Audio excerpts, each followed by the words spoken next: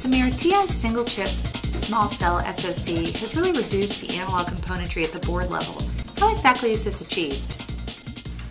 Indoor and outdoor small cell base stations are driving the need for smaller form factors and much lower system power. TI's next generation small cell SoC uh, integrates functionality such as digital down conversion, digital up conversion, crest factor reduction, and digital pre-distortion. So functionality which has traditionally been analog is now being pulled in onto the digital SoC.